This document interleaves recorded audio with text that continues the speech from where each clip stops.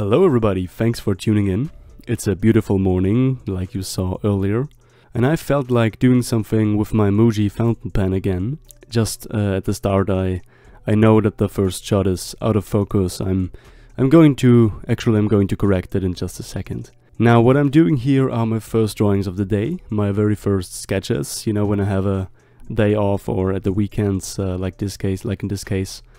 Um, I like to sit down, you know, half an hour or uh, one hour after I get up. I like to just sit down, have a coffee, and do my first drawings of the day just to get warm a little bit and uh, to also, you know, wake up my brain a little bit. That's uh, also a big thing after after you wake up after a long good sleep on the weekend.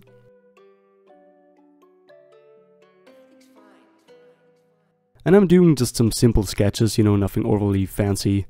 Uh, as you can see, just getting in right with the ink, right with the fountain pen, with no with no line work underneath or something. So not overly beautiful, finished, polished drawings, but just some basic, very basic sketches. And every time I watch these time lapses, it's so cool to see like just a plain, um, or basically some some plain line work, some plain outlines. Uh, transforming into actually an acceptable sketch, you know, and then going in with some with some shading and correcting some of the errors I did before. And these are the first drawings of the day, and the first drawings of the day always feel really weird.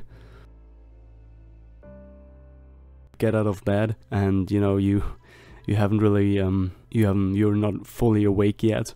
They always feel kind of funny, and uh, it's always a little bit of a challenge, but it's also relaxing, you know.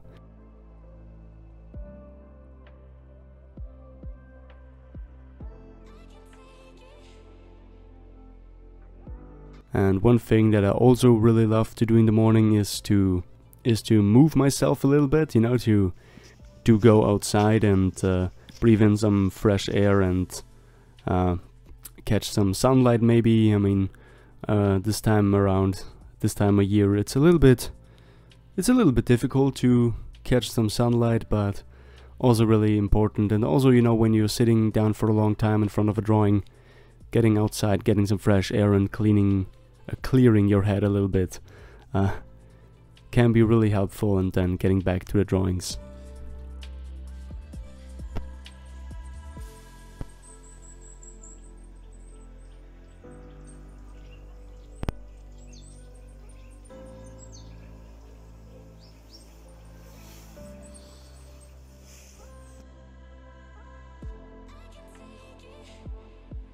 The pen that I'm using here today is my Muji fountain pen, like I said earlier. Uh, it's a really, really awesome pen. I did a more in-depth video about it uh, in another video. I'm going to link it in the upper right corner, where I use this pen mainly for writing.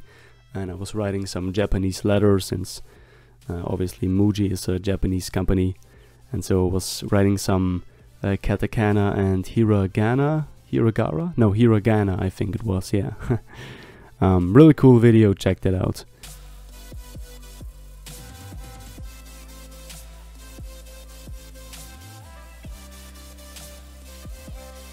And yeah, this is obviously not what I usually do. Usually I just do some really um, detailed drawings.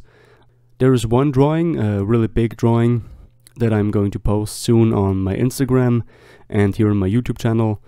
There's a lot of stuff on my Instagram that I don't show here on YouTube, so and I'm also doing some giveaways there. So if you're interested in that, go check it out. Um, my Instagram name is in the bottom left corner. Also, it's linked in the in the description below.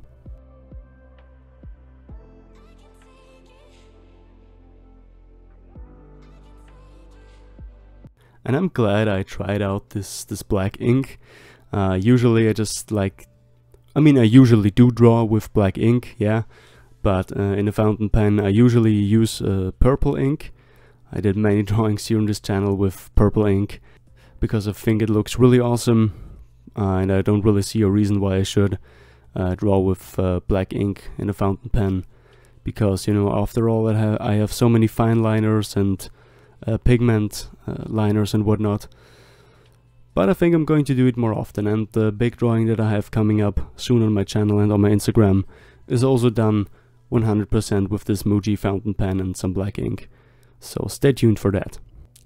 So yeah, really short, really quick video, nothing overly fancy, just some quick sketches, just how I like it.